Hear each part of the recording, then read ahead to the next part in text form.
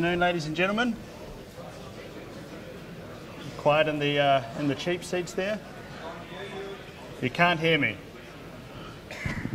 Try and get even. Can you hear me now?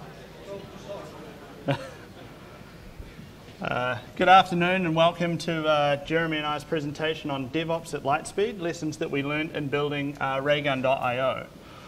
Um, today we want to sort of walk you through a story about how uh, just under a year ago we built a uh, online hosted service for tracking software exceptions from many different programming languages. And uh, this sort of represented certain challenges to us in terms of uh, scaling and performance, but also in sort of, we're generally a team of developers and now we needed some operations skills. And uh, yeah. First off, good day everyone. Um, great to be here again. Yeah, I mean, it was, it was an interesting um, little journey we took, um, and, and um, you know, again, uh, our background at, at, Mindscape is in building software, frameworks, and components for other developers, and so um, the whole idea of stepping into, you know, the, the, the, big SaaS world with people like Xero, you know, it, it was a whole new challenge for us, and um, it's kind of interesting because you know, uh, you know, when, when I often find when you're developing things, you know, you get very focused on what you're doing and, and the tools and and um, frameworks that you're kind of working with at that point in time. And this really opened our eyes up a lot to some of the um, some of the other things that are out there that a lot of these, you know, hip, cool San Francisco companies are using to power their systems. And we thought, you know, uh, it would be great to sort of share that some of those learnings with you. Yeah, um, it meant that we sort of had to start adopting a little bit of a, of a, a, DevOps sort of way of operating within our company, and that's sort of become a bit of a, a buzz term in, in recent years. Well, and, and, what do you think of, of, you know, what is DevOps, JD? I mean, uh, it's a bit of a bit of a hype term, isn't it? It is, it is. But you know, the way I see it is that sort of that understanding of what's happening in operations and, not, and as well as development, no longer taking that approach of sort of like, hey, I finished writing my code and I checked it in, and now it's someone else's problem to deploy it, and you know, it's in their black box now. I don't have to deal with any issues. Yeah, and, and certainly for us as a, I mean, we're a small team, we're sort of seven people in the company. Um, you know, often you find yourself in these sort of small focused teams where you know you're, you're, building something and then, and then oh, what happens to it over the other side? And so we had to learn a lot about blending the roles that we took. You know, not just development, but also blending into operations um, as, as we kind of made the, you know, made the transition into launching this product and then, and then obviously having customers use it. Um, and, and fundamentally the product itself is kind of a DevOps product, isn't it? You know, it kind yeah, of helps people. it is. It's about blending that view of the problems that are happening in production, bringing them back to developers. And so we wanted today to sort of share some of those stories about what we've sort of found has worked for us in that sort of DevOps landscape and because you know you're a technical audience, we also wanted to share some of the tools and things that we use to try and scale up and improve the performance of the service. Cool, man. Well, we've got lots to get on with, so let's get started. Um, first thing, let's um, have a quick sort of context on, on Raygun itself. Um, so for that, let's flip over here and just quickly describe kind of what, what it is that we Who built. here doesn't know what Raygun.io is? Right, some, ah, everyone. Somebody in marketing's getting fired. Getting fired. Yeah. Right, anyway. Um, yeah, so I mean, fundamentally, simple sort of problem space, right? I mean, I'm sure you've all kind of dealt with this. You build a, build a system, uh, you, you, you, put it into production somewhere, and then, you know, try as you might, it has a bug. and, you know, even, I've tried really hard on this myself over the years, writing perfect software. It just doesn't work. Um, so what do you do? Well, maybe we'll just, uh, you know, crack up a log file, write out a stack trace to that when we get it. Uh, maybe we'll send an email to ourselves. Sounds great until you find your system is spamming you with you know 100,000 emails and you're like, ah, stuff this. Yeah. Let's put it into you know exchange uh, exchange rule. Push this off to another folder. Yeah. We don't care about this or, anymore. Or in my case, you know, we I was keeping an eye on the Mindscape public site, and generally about 95% of all the errors were just triggered by spam bots and, and junk like that. So I sort of desensitized myself to paying any attention to what I was emailing, and it was very easy to miss one that would kind of go, hey, your credit card processing system's offline. You just kind of like delete, delete, delete. This is all junk. So we wanted something better. Yep, so real quickly, you know, you, you plug, plug something into your application, a bit of, bit of code, and it fires all those errors at our service.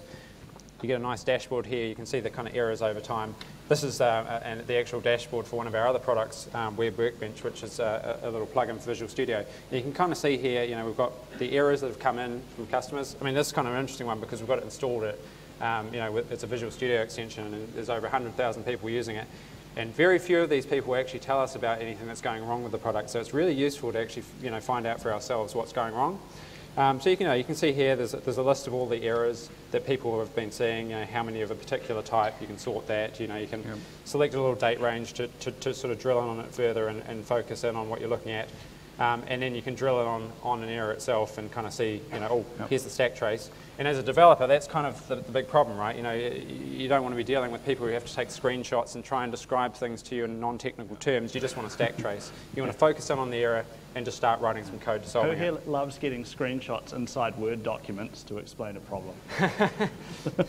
you know. We also wanted to make this a bit extensible, so you can see here Jeremy uh, has made it so that it reports the other add-ins that are within Visual Studio because that's a common point of, of problems. The other thing is, and why this is so useful to us, is that it's actually really, really hard to find um, the stack traces when something goes wrong in Visual Studio. Even things like the activity log, it quite often just says, you know, error, some sort of weird HRESULT, and we kind of go, mm, don't know what the hell that is. But uh, so we, we've managed to close a lot of bugs using this this tool. Yeah, and you know, we, we, we've had the, the system live for sort of six six or so months now, and you know, lots of people finding it really productive. So with that, let's let's kind of go back to our story and. Um, where do we start, man? What, what, what, happened at the beginning? So one of the things that we wanted to sort of uh, focus on was, you know, if we're building a DevOps product and we need to sort of upskill in the world of operations and actually uh, instill the right sort of mentality in our own team to make sure that this is a success. And so one of the, the sort of um, first things we wanted to do was first off make everybody aware that they're all responsible. So I think that's what the next slide says. But um, yeah, everyone on the team is responsible.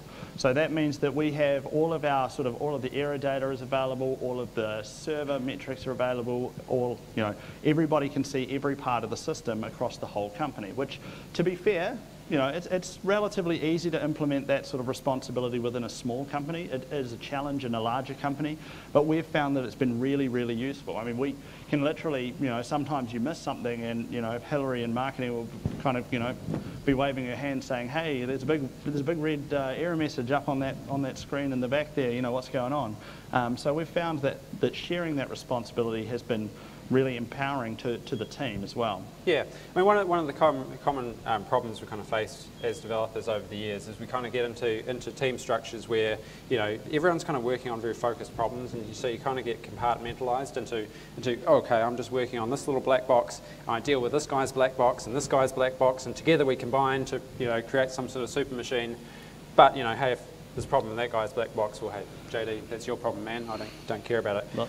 With the kind of DevOps way of thinking, you know, because you're kind of having to, to juggle both the development of the system and then obviously how it's living and breathing when it's actually running, is you kind of do need everyone to feel like, oh, right, this thing's mine. Yep. I own it. I need yep. to take responsibility for it. Yep. Um, and then to support that, we obviously need, because, you know, I, as a developer, I'm used to Visual Studio, how on earth am I going to get all that sort of information? We have to make the, the, the right sort of tools and also encourage a process yep. to, to sort of support that behaviour. Yeah, so, so the first part here we wanted to get out the fluffy stuff about you know your team dynamics and everybody being on board and responsible, but how do you actually facilitate that?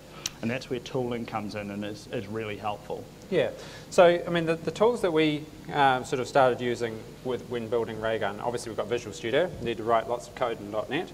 Um, and then we've got our, our source control system. Um, we, we use Git uh, with GitHub uh, for that. Um, and then, you know, you've got your common stuff. I mean, automated build server. I mean, presumably everyone's kind of automating builds, using build scripts, uh, TFS build, that sort of thing these mm-hmm. days. Um, we, we use TeamCity for our, our automated builds. But the most um, interesting thing that we kind of took on board um, with this is something to help our, help our communication. Um, and this is something we've seen other companies that have been reasonably successful take on board as well, um, like yep. Xero, uh, which is, you know, you've got to use an IM tool. Um, in our case, we used HipChat um, to actually just have everyone in one place talking together. Doesn't matter if you're working remotely, working in the office. You've, you know, you've got all your, your, your, your comms there so that it's captured and anyone can come back at any point in time and scroll through it. And it scales really nicely because one of the things is, for example, if you're in a larger company, you can set up rooms. So maybe there's a room for a product uh, that you're working on. In our case, most of the team is on the Raygun room. Then we've got other things around marketing. So there's focus as well as one-on-one -on -one messaging but HipChat itself is really extensible. So we've made great use of that by having, for example, the, the Raygun chat room in the company where everybody's on there. You can see every commit that goes into Git, every issue that gets raised. We have uh, Raygun actually integrates into, into uh, HipChat as well to report any errors that we have in production.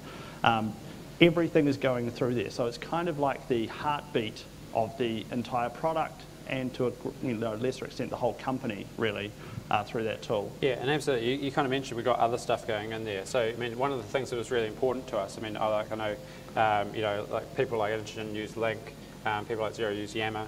Um, you know, they're all good tools. It doesn't really matter what you use. But what we want, what we're interested in, is being able to integrate other things into that into that space. So, yeah, because we're, we're a group of developers and we don't know too much about operations when we started is we wanted to make sure all the operational data could be fed into us as well. So alerting, you know, any alerts come into the central place, uh, you know, as say commits come in here. So everyone's got a really good awareness about what's going on. Um, and then we, you know, around the, around the edge of that, um, we've got other things like our monitoring. And of course, we also use Raygun. Raygun itself. um, now, the other tool that was, um, you know, really, really cool um, that we, we picked up on that we hadn't used before um, was an automated deployment tool. Is and anybody here doing automated deployments at the moment? Yeah, a few. a few of you, yep really, really, I, I was very surprised at how much uh, of a product productivity boost we actually got by using this. Yep. And the, the, reason for that, man, is because typically what would happen in the past is, you know, we needed a release done, what would happen, you'd call me and go, hey, can you put this on the server? And, you know, I'd package it up and, and put it on the server. But obviously that just eats time. Yeah, and or we'd end up with one person owning things. So I would own the Mindscape public site, Jeremy would own some other system, and then everybody in the company who works on things has to go and talk to that person to get a deployment done. And that, yeah. that was just a real roadblock. So we found a really um, great uh, automated deployment tool that we'd highly recommend to, for, for, .NET developers called Octopus Deploy. It's specifically built for .NET um, development, um, written by a guy in Australia called Paul Stovell, yep. Um, and it's really, really simple to use. Um, what I thought we could do, man, um, is just pop out of this, pop out of here. Is um, actually do um, do some work. Yep. Um, let's do let, let, let's solve some solve some problems, um, and actually use this automated deployment tool while we're at it. Yep. so you know, I mentioned we use we use GitHub so for, for issue tracking and for source control. Yep. Um, so here's a here's a nice little simple issue we could deal with right now. That's right. I've always been a big fan of ASCII art when you view source on any web page, and uh, in, in the Raygun app, if you view the source, there's an ASCII art ray gun because that makes sense. Um, what we don't have though is an I should probably put that on the pricing page as a feature. but uh, yeah, but, but, but I don't think we have it in the public side at the moment, which is uh, you know really going to hurt us in, in uh, attracting that uh, 18 to 27 year old hipster demographic. So um, this is not going to get us funded. No, no. So Jeremy's okay. got to fix this because ASCII art to beyond my, my skill. Cool. So um, real easy to obviously code this up. So um, you know, again, you know, I'm, I'm, using GitHub here, and I'm just going to. Um, one of the things that we um, that worked really nicely for us when building this is, um, you know, previously we used um, uh, Subversion, and you know, um, you know, we weren't very good at branching, and and when we started on Raygun, we decided to switch to using Git. And um, the, one of the big, you know, the big selling points of this um, as a different uh, way of managing source control is that branching is really easy. And you know, it took me a while to buy into it, but it's really been amazingly productive for us because what we do is any kind of change that we make, um, we create what's called a topic branch. And that's just, you know, the feature that you're working on, you just check all the code into that branch. You branch it off master at that point, um, and you just go ahead and do your work, and then you merge it back in later. So and in this case, you've created a topic branch for adding ASCII art to the public website. Absolutely. So we can see um, that. And, and, what, what this kind of allows us to do is work on lots and lots of different features all at once because they're all on their own branches and then all we have to do is just merge them back together later on. Yeah. Um, and you know, it, it, sounds odd, but it works surprisingly well and, and that's one of the things that's helped us be you know, a little bit more productive because we can get everyone working on different things concurrently. Yep. So, okay, we've got, the, we've got our little branch. Um, here's the code I'm going to check in, man. And, you know, one of the things we also, that's really nice with these sort of um, tools these days is it's really easy to do code reviews just by diffs. So, you know, have a look at what's, what's diffed. Oh, yeah, I've just added the, uh, you know, the HTML comment in with the ASCII art. Yep. Let's go ahead and. uh, That's about the one of the few stages where you kind of in our organisation you need another person. Is that the general thing is Jeremy will write some code or anybody writes some code and you get somebody else to review the, the pull request, and they choose to merge it in. So Yep. that you know you just get that second set of eyes. Am I good to merge? Yeah, that looked like a pretty cool ray gun. Cool. Okay, let's go. Okay, so now what's happened is our automated build server is kind of monitoring that as it does and goes ahead and, and, and builds, um, builds that branch. Uh, it's going to build master now that it's merged in. Um, and then we can go over to Octopus, um, which is the automated deployment tool. And um, Octopus uh, kind of has a, yeah, it's a simple enough tool. We've got the notion of environments. So, you know, where are we, where are we deploying this to? You know, we've got obviously development machines, but then we've got an internal test environment, we've got a beta environment, and we've got our production environment. And so we can create a release and then choose to deploy that release, oh yeah, to Office, beta, or production. So let, let's go and, you know, go through a nice safe process here of Yep. deploying this to Office. Yep. And that's what we, we've found a really good um, for us anyway, a sort of um, the environments to have set up. We used to have more of them sitting there, but we found having something in the office is really useful because we can pretty much deploy anything onto that whenever we want, and then we can ask anybody in the company, you know, hey, go and give this a kick around because for all the unit tests and all of that stuff, at the end of the day, there's still, you know, oh, the merge went wrong, or, you know, oh, that didn't work in Firefox quite right, and those sorts of things. And getting people to eyeball those things is good. Okay, so the change I'm looking for is, oh yep, there it is. Yeah. The so that's, is there. that's on Office. So I have to admit that when uh, Jeremy's now going to promote this up to the public website, which when he said to me, you know what, man, I really want to uh, do a deployment live on stage as part of my demo. You know, I've heard of demos going bad at TechEd. Thankfully, I've, I've not been harmed by them myself, but I thought, yeah, this, this sounds like a good idea, really, just screw up the whole public website. Um, but uh, That, that, that's the faith I have in our tooling, man. Yep. That's the faith I have in this. So, so to kind of wind back a little bit about how Octopus kind of works, um, is it, it's simple enough, but you have to kind of um, make a few things available to you. Um, fundamentally, um, if we have a look at the dashboard here, we've got our, our, our different projects that we're working with, our environments, and then you can see in this sort of matrix here, there's um, version numbers that were released to each environment. That one's kind of in progress down there. Um, so the way this kind of works is it relies on NuGet packages, and um, you know that, that's familiar enough to us these days as developers in, in .NET land. The way we build these NuGet packages is we just add a little uh, call into our, uh, our build scripts, our MS build scripts, um, to package up the published version of what we want to release onto our, onto our environments uh, into a little NuGet package. So th- uh, thinking about this in terms of our website, what is it that we publish? Well, we publish the website. So if I, I'm in Visual Studio, I go, publish this website, what do I get out the other side? A higher, you know, a directory full of files, my, my ASPX pages or my CSHTML pages, CSS, JavaScript, and any other assets that I- I've chosen, chosen to bundle in there. Octopus then provides a little command line tool called Octopack. You add that in, you just say Octopack the directory, and it will package that up. And then you get a nice little NuGet package out the other side. Octopus then knows, okay, I can see all these NuGet packages, you know, either published through a NuGet server, which handily for us TeamCity provides, or just it might just be a, a, directory that you've got on your build server that, that the Octopus server can see, shared directory. It can then say, oh, right, I can see all these packages, so when I go to create a new release, what's, what's the latest version number that I see? And then we, we go through the process of deploying it to this environment, testing it, deploying it to another environment. More than just deploying files, it can also um, execute other commands on the server. So it has hooks along the way to say, all right, um, as I'm about to copy the files in, do you want to do anything? And so you can provide PowerShell scripts that are part of that NuGet package that just execute, uh, you know, as if you're logged into the box doing things. And you might want to, you know, stop a service, then deploy the files, then, you know, start the service up again. So that, that gives you those sort of controls. Um, again, you know, how this has been really useful for us is, you know, if you look at um, TeamCity, which is what we use for our, for our builds, we build a, a, a different version of, uh, of that package for every branch. As every time a commit is made, we build a new package, and that way at any point in time, we can take that package, put it onto any of the environments, you know, do some testing. Yep. Yep, this is good to go, let's merge that, then we can push from master Yep. um, into production. And we've, we've just generally found that these tools have helped us work really, really efficiently. You know, we, we, we hear companies and that talking about how you know they do quarterly releases or monthly releases, and you know ever since we started Mindscape, we've always released nightly builds of all of our developer products.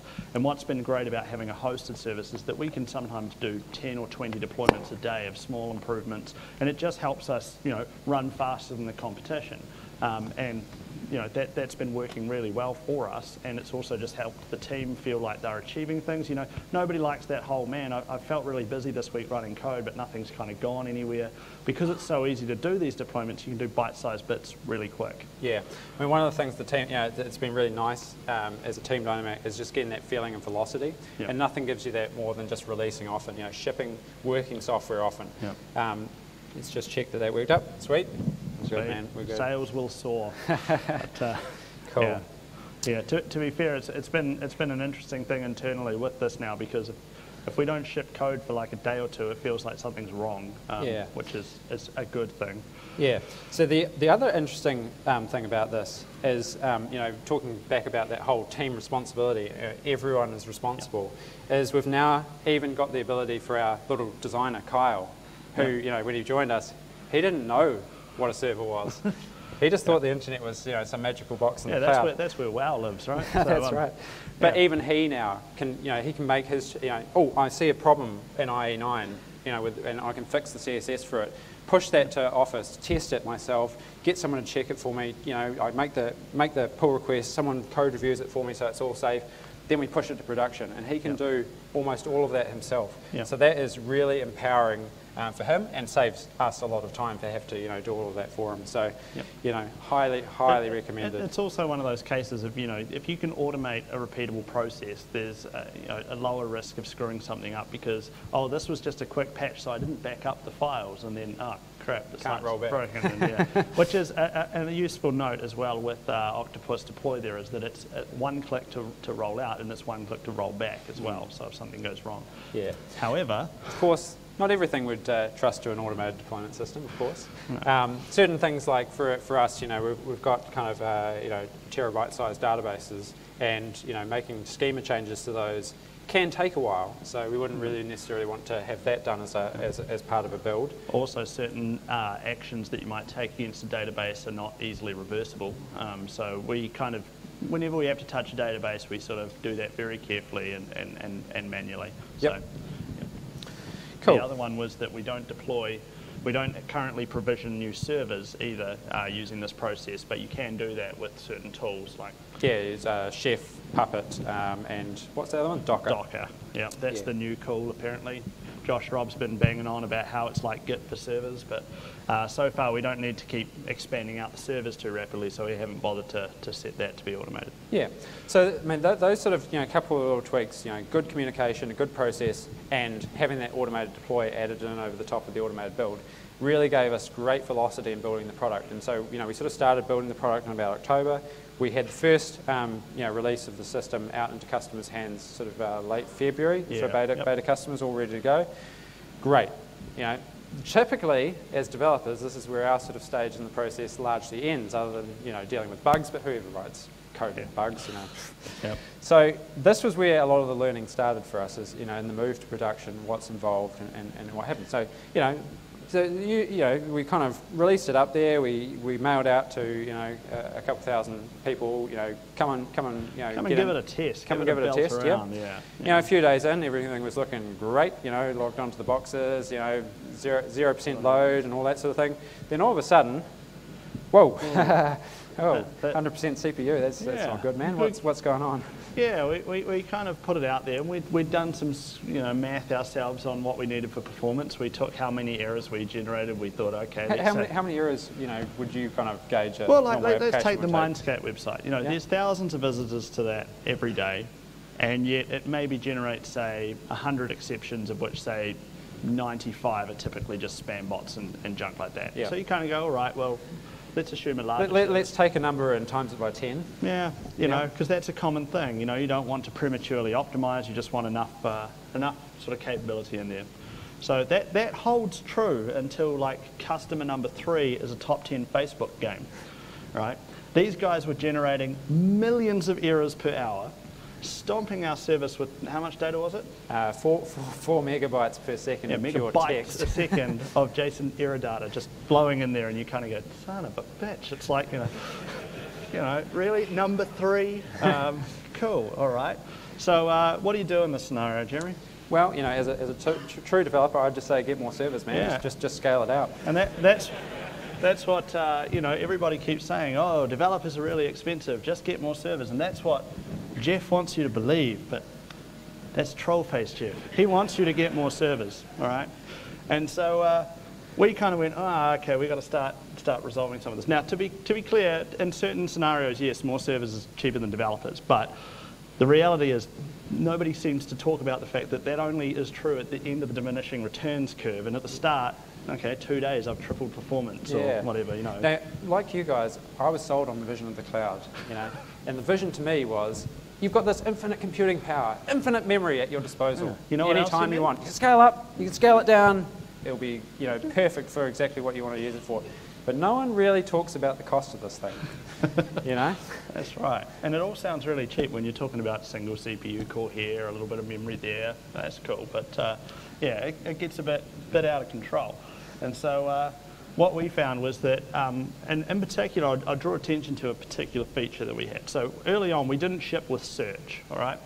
And of course, that was one of the first things that people wanted. They said, hey, look, if I'm generating you know, 3 million errors an hour, I want to go and find that particular error that this person reported. That needle in that haystack that I know is there.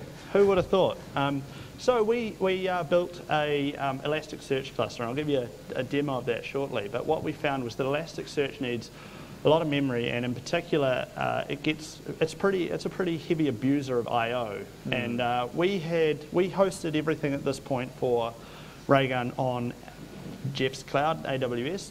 Nothing against Azure or anything. We've just been using AWS for donkey's years, and it was, you know, the devil we know.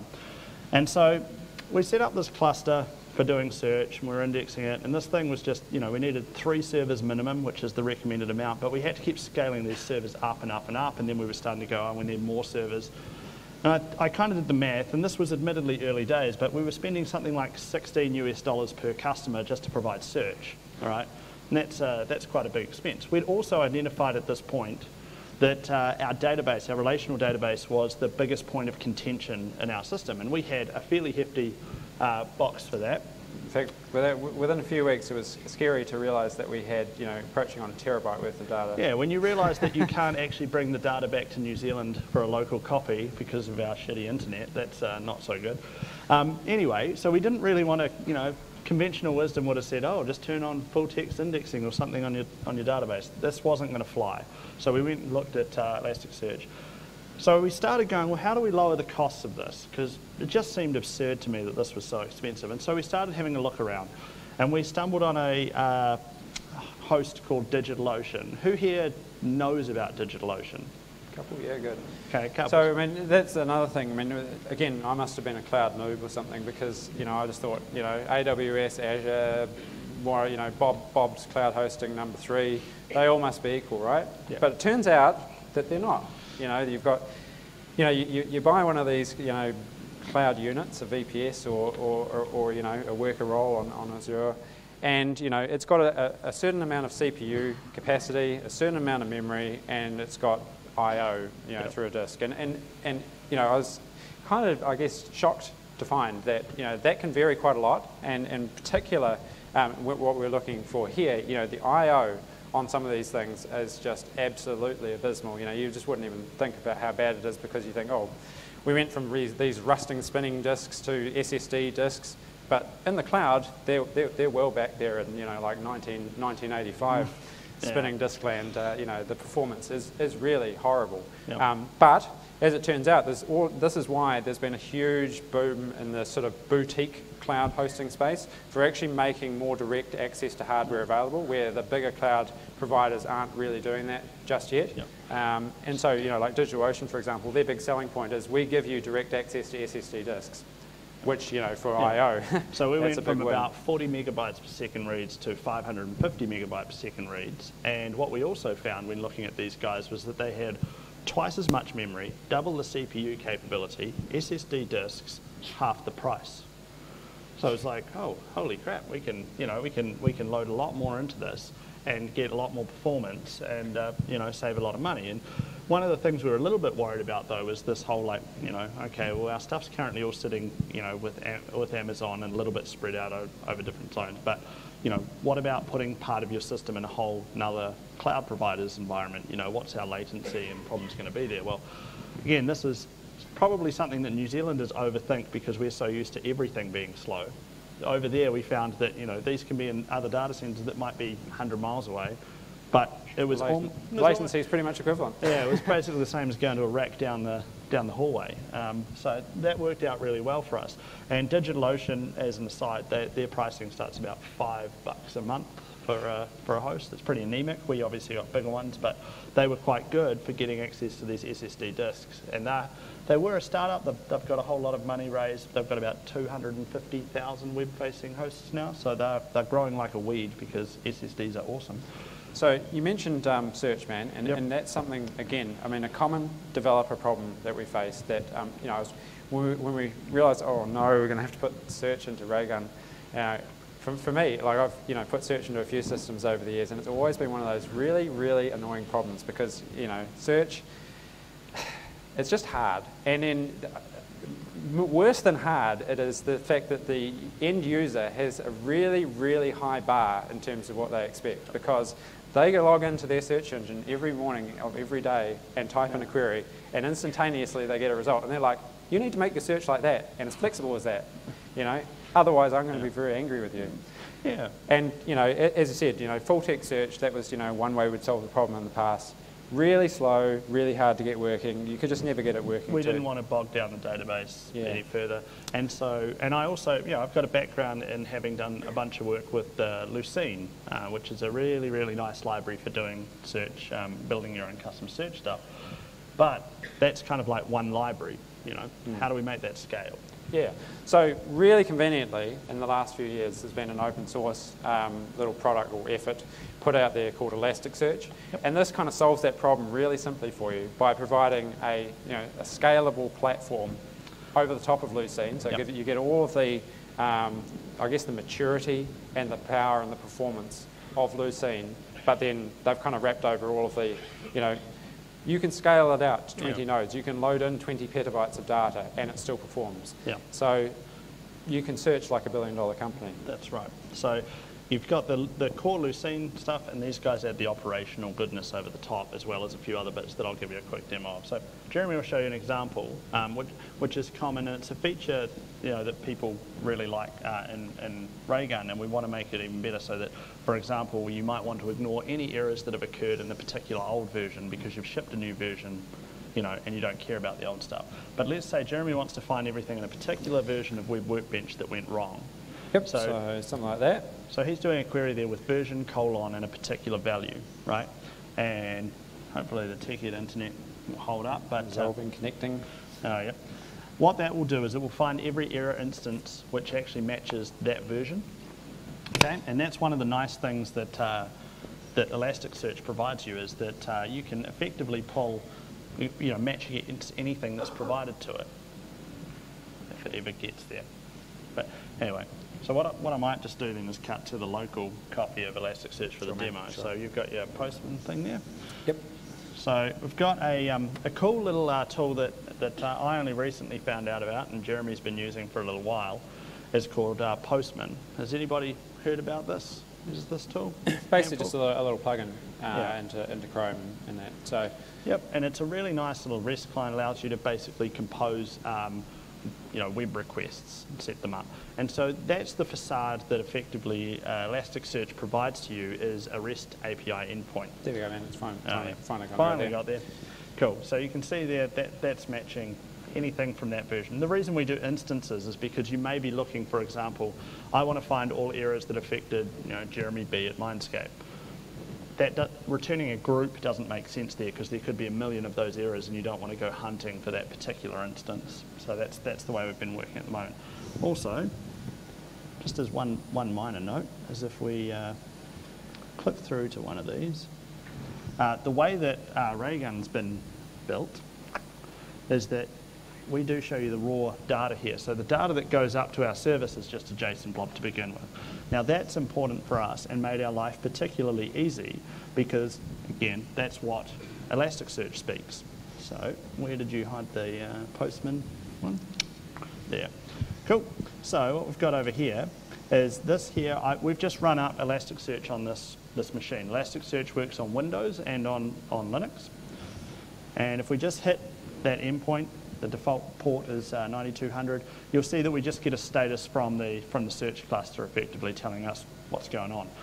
Nothing, nothing particularly interesting. What we want to do is index some data. So what I've got here is I've got a raw blob of JSON.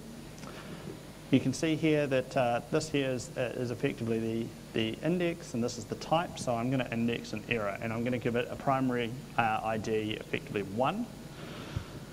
And I'm going to make it a post because it's a nice RESTful interface. And if I run this, you can see it comes down here and it gives us a little bit of metadata about that. You can see it's version 3 because I practiced this a whole two times before getting on stage. If we come over here, this time I'm going to be running a, a GET request, just going for error 1. If I call that, you'll see that we get this nice JSON blob back. And what's interesting here is there's that little bit of metadata about what's come back. Plus, they store the entire source by default, so I can pick that apart if I want to.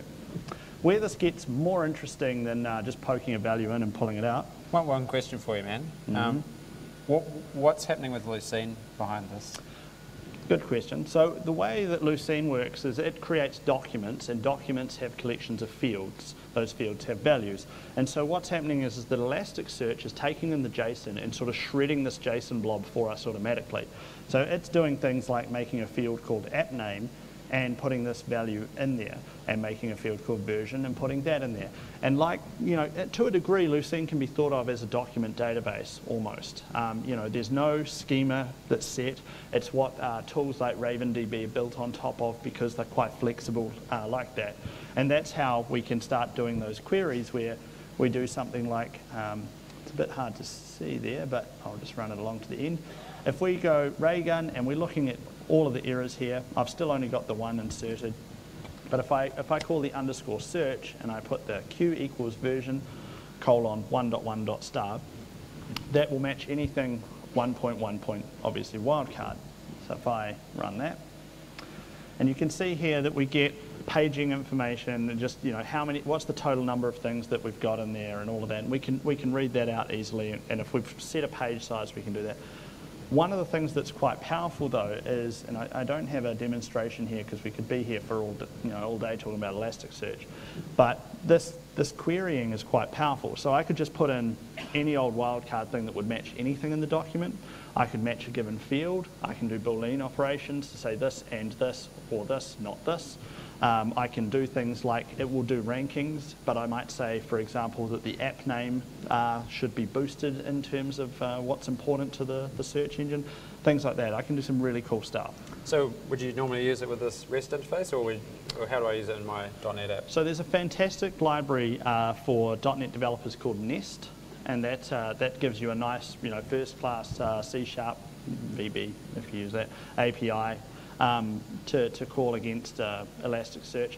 But what is really nice though is that obviously all, a lot of other tools can work with Elastic mm. very easily. You can sort of sit there and debug stuff really fast. It's a very nice uh, product.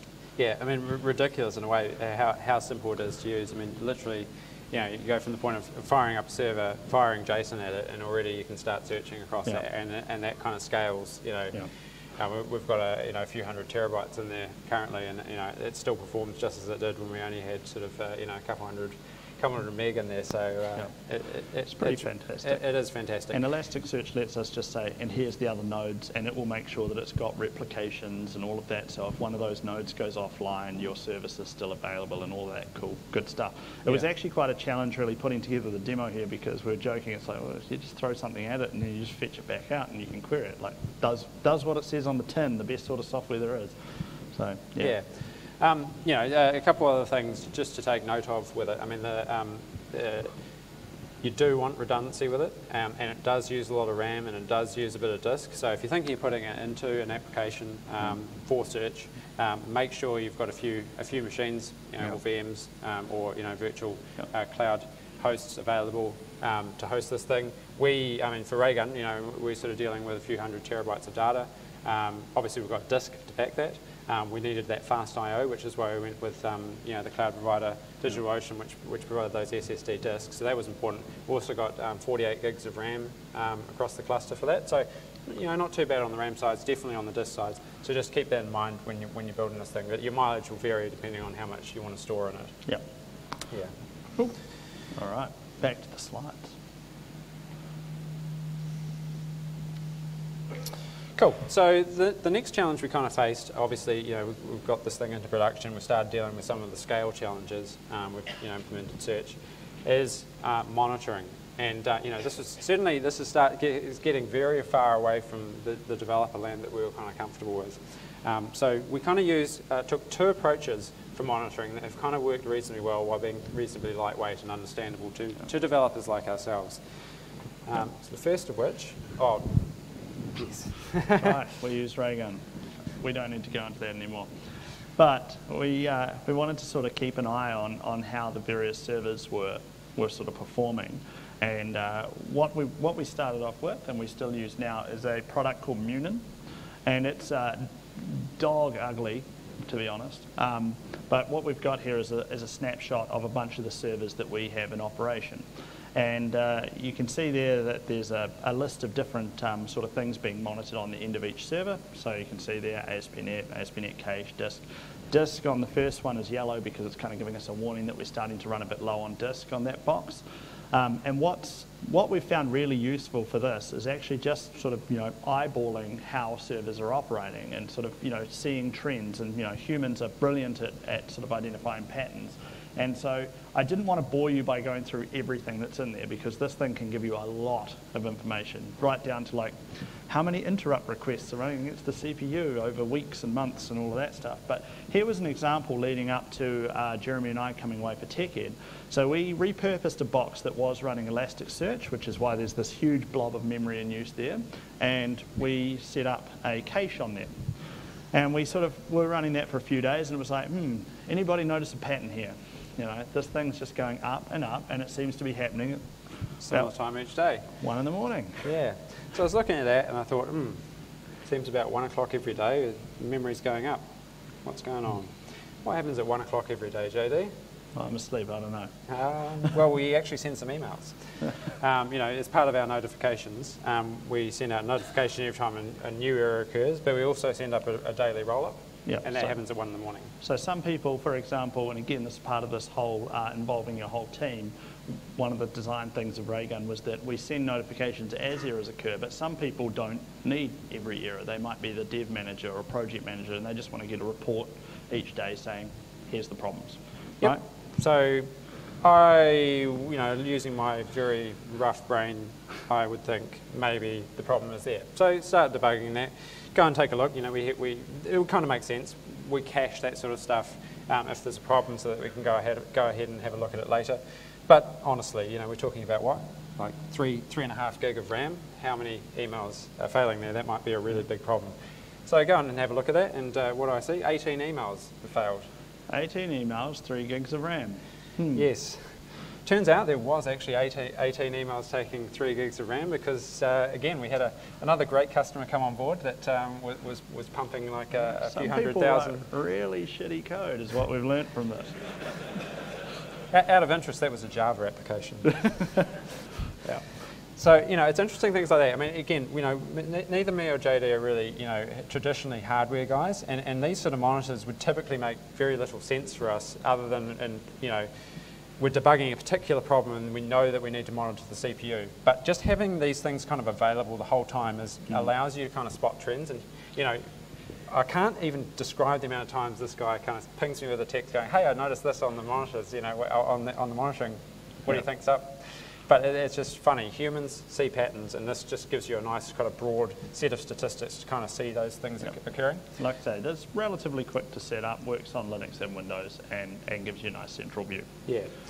So the other thing that um, we put in, um, and again, you know, one of the challenges we kind of are increasingly facing um, as developers building more complicated systems is there's a lot of moving parts, right? You know, um, for, for Raygun, you know, we've got these We've got an API surface, which is you know across a, a large number of boxes. We've got worker processes behind that. We've got uh, the websites. We've got uh, little little tools. We've got Elasticsearch. Uh, we've got the database. You know, there's, there's kind of a lot of things going on. Yeah. And you know, the the, the um, sort of server monitoring and you know kind of perfmon type stats give you one point of view of things. You know, they kind of tell you whether the machines are looking okay. But the other side of it is obviously, is the application itself okay? So and we kind of end up where we're tracking, looking for problems at several stages, right? You kind of, you're doing dev, you write some unit tests that, you know, you, you test some assumptions, we put it in there, and the server might be like bleeding memory, so we can fix that. But the servers could all be fine, and all the unit tests could be passing but there could still be something in there that's leaked out, right? Yeah. So, you know, with, with these sort of complicated flows, like for example, for a message that comes into the system, it goes through our API, gets put on a queue, gets pulled off a queue, gets processed by a worker, gets spread into four different locations, those them do processing, then eventually it turns up in a database, goes onto a website.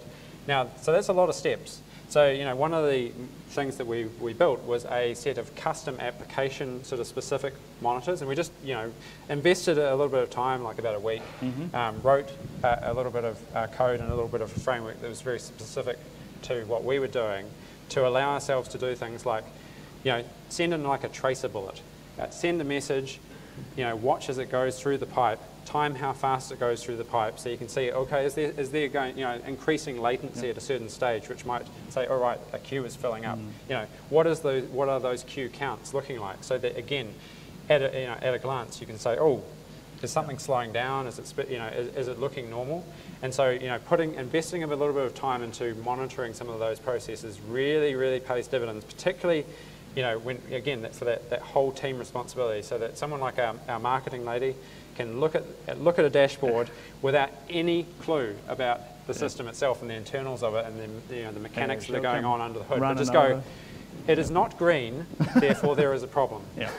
And what happens is if something's down, this whole admin site basically gets a red message across the top saying, you know, go and look at this thing. Yeah. Um, and what we've also done is taken that sort of unit testing methodology that we've used on all of our products, where if somebody reports an issue, we first, you know, we write a unit test, it fails, we fix the bug, and then that's part of our unit testing suite going forward. So it's a little hard to see, but at the top there's 31 of these monitors that we've, we've built.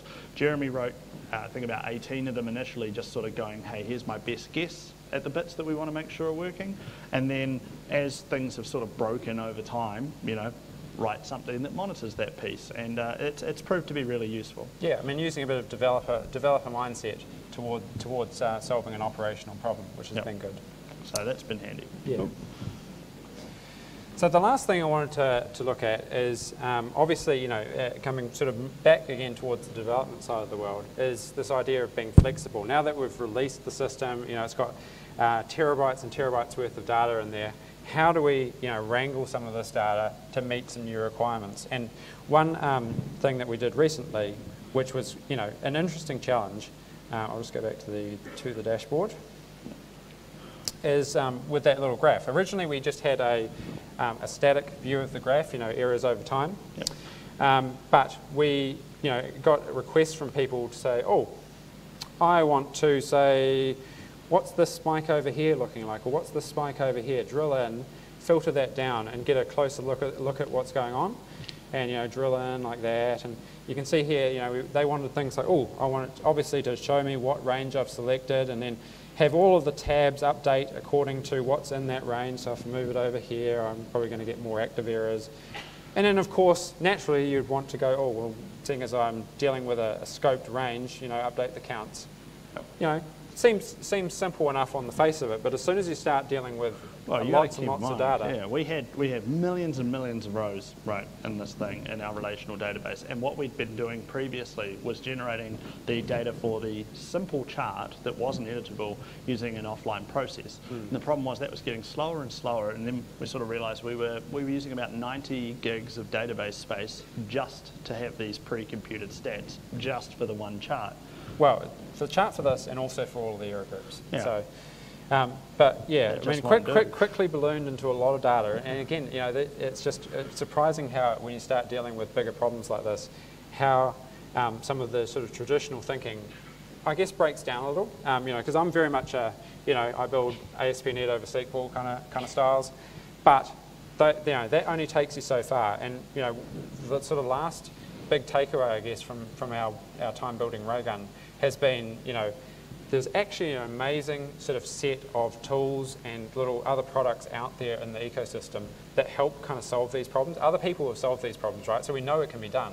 Yeah. But, um, you know, can they be done strictly with a relational database and, and, and ASP.NET? Maybe, but maybe not. Yeah. So, you know, th- this particular, this particular problem, you know, had, had quite a lot, um, you know, w- required us to deal with quite a lot of data.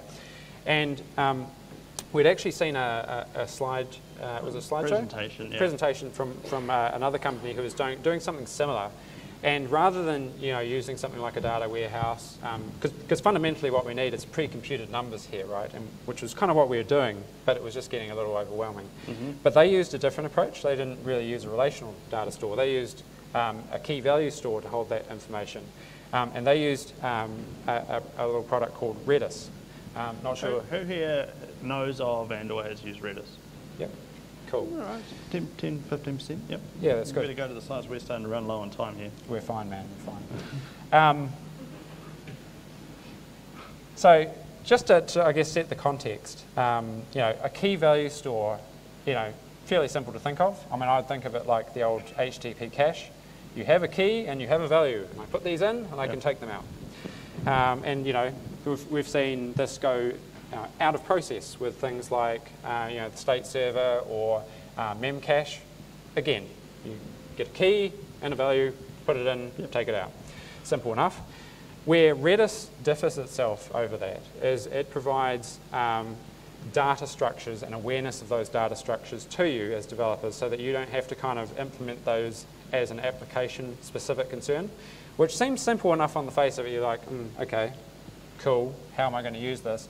Turns out it kind of gives you a number of different tools that you can use depending on the problem you're trying to solve. You could solve all of these problems with a traditional key value store, but it's much simpler doing it and much faster doing Yeah, it. having those data like structures is, is really quite unique. Um, it's kind of like, you know, when you're writing your code and you can choose between a dictionary or a hash or a set or whatever, you know, and but all of this is now externalized into its own server. And once, like, like Jeremy says, at first it seems a little bit different, a bit weird, and you can't understand how you might use it.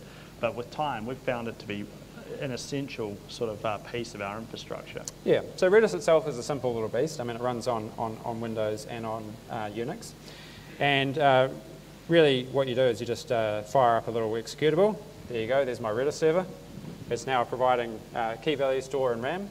I mean, this is good just straight away for, for, for something like caching because, you know, we've now got an out-of-process uh, server that we can deal with for caching, you know, as we- we're scaling out our web servers. So that was, that's kind of the first port, port of call that we came to with Raygun as to how we might want to use this. Um, now, using this in .NET, real simple. I mean, um, the server itself, you can telnet into and send commands, and it works that way. But as much as I'd like to work that way, not really that productive. So, um, you know, as with everything these days, we've got a NuGet package for that. Um, we use uh, um, for our for our stuff, um, and so you know, you just go new uh, package console install package server stack servicestack.redis, um, and then to use this guy called Redis Client Manager. Like with Elasticsearch, it kind of lives on its own port, 6379.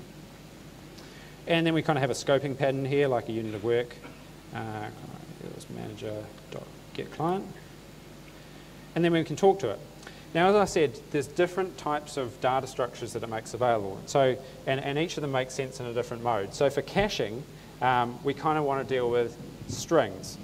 Um, and we've got commands here, and this is uh, Redis.io, which is the website where you can get this and also list all the commands, so you can look them up, very handy. We can get a key, and we can set a key, and we can option, optionally provide an expiry time for that. So that, that kind of makes sense. So with our code, we've got set and foo bar. So, you know, as simple as it gets, really. You know, um, and, and these frameworks, you know, the, these little client libraries really just give us the ability to, to, to operate with these, these servers as simple a, a, as it gets. So let's run that up, uh, put something in there. If we open up the little command prompt, uh, we can check what keys are in there. Oh, yep, there's foo, get foo, bar. Okay. Don't have to just deal with strings. Um, we can also deal with structured objects as well. Bar, baz. That's good enough.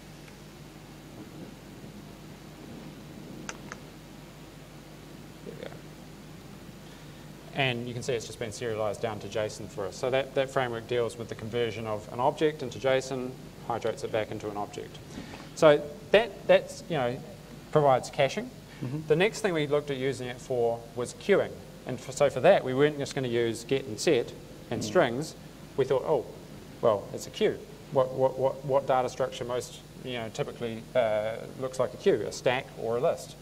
Oh, yeah, lists are available in Redis. And so we can push and pop items um, onto, onto, a, onto a list, and, and, and that provides us with a lightweight queuing um, approach. So again, from our code, it's as simple as push item to list. We use queues quite a lot in, uh, with Raygun.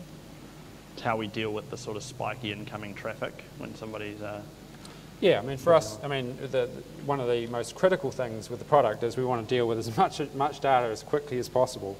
And so to do that, you know, when, when data comes in, we queue it, and then that means that we can basically just read the, read the data that comes in, do a quick sanity check, push it onto a queue, and that's almost an instantaneous operation. Yeah. we create a queue per app so that, for example, when somebody writes a really buggy Java app, they don't slow down the error processing for other people who are also using the service. Yeah, so if we pop off that, that queue, one, two, three, and that's the end of the queue. Yep. So again, very simple, lightweight sort of stuff, but it's amazing how powerful this stuff, you know, because it gets straight away, you just, you just get queuing yep.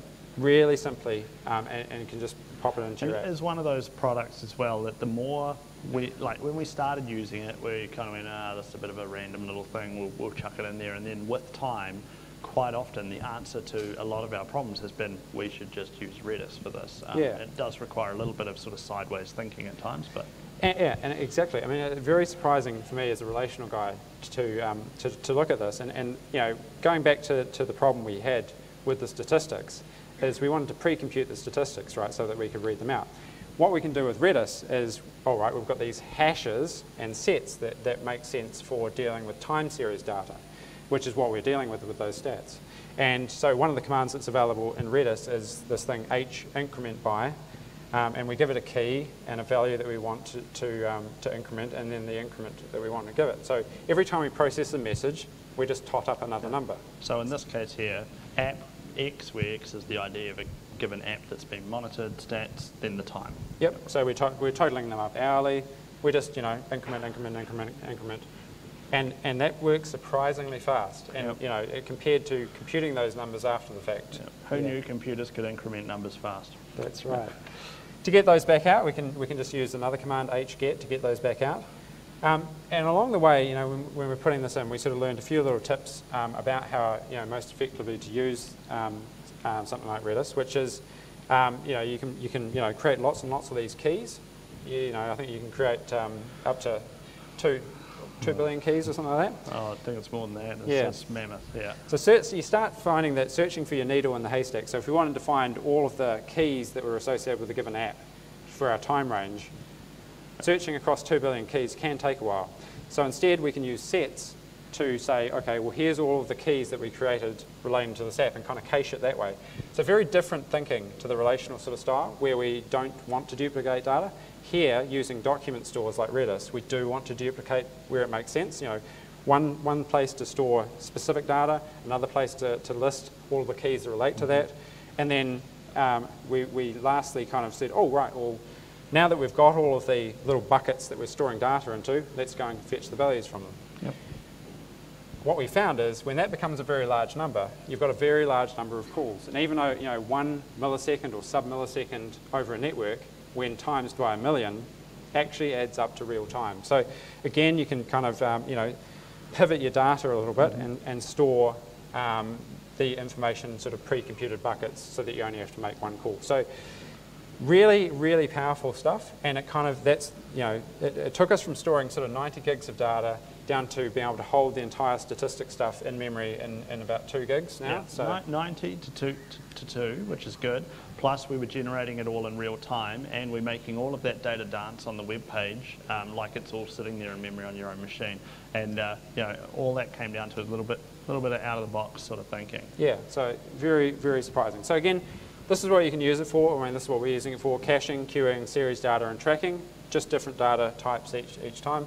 Just go and have a look through it um, and, you know, and, and try it out yourself. Again, that's the thing that we found. You know, there's lots and lots of these little bits of technology that are kind of floating around now um, that people are using to solve these kind of problems where, you know, traditionally you might have tried to use your, your big hammer to solve it. Now there's lots of little things Yeah. that we can And there's use. certain things which relational still works for us. Obviously, list of apps, the users, all of that sort of stuff is all going to stay in a relational database. It's just using the right tool for the job. Hmm. This brings us to the end. Um, I really appreciate you guys all coming in today and uh, listening to our talk. We have a bunch of uh, t-shirts here. Unfortunately, they're nearly all XLs. Um, if you want one that's in your size, if it's not XL, we send them out to people typically if they sign up and use Raygun, hint, hint. Um, but come and grab them if, if that size will work for you guys. Um, and otherwise, come and hit us up with questions, either here or outside. Yeah, We'll be around for the rest of TechEd. Thanks, guys. Thank really you. appreciate it.